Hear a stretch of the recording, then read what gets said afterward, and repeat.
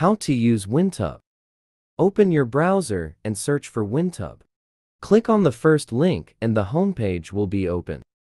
Create your account. As I have created it before, I am logging in with my one. Now, this is your dashboard.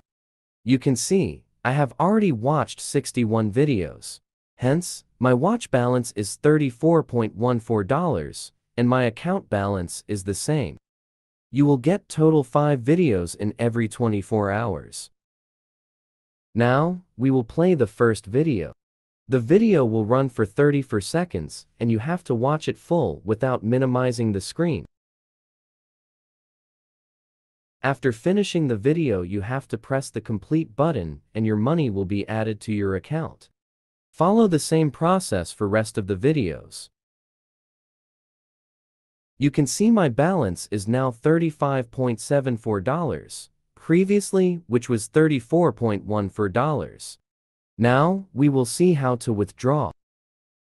You can withdraw by using WebMoney, PayPal, Payoneer, Western Union. But you have to cross a certain amount. Only then you can withdraw.